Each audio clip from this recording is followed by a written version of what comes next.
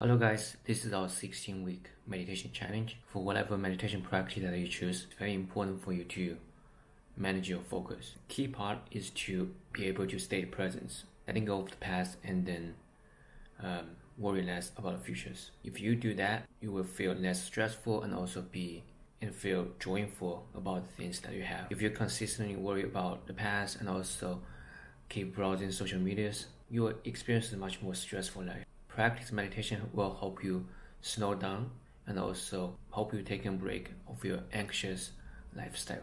So today let's just practice uh, breathing again.